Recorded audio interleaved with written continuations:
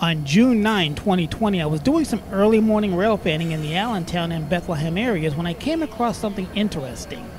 At the grade crossing of Riverside Drive, there was a railroad spike strategically placed to catch the attention of anybody familiar with the name painted on it. The creator of YouTube channel Baltimore and Ohio Railroad, who you're probably familiar with and subscribe to, he has 200,000 subscribers to date, has been leaving his mark in select locations he visits with railroad spikes painted with his channel name brilliant.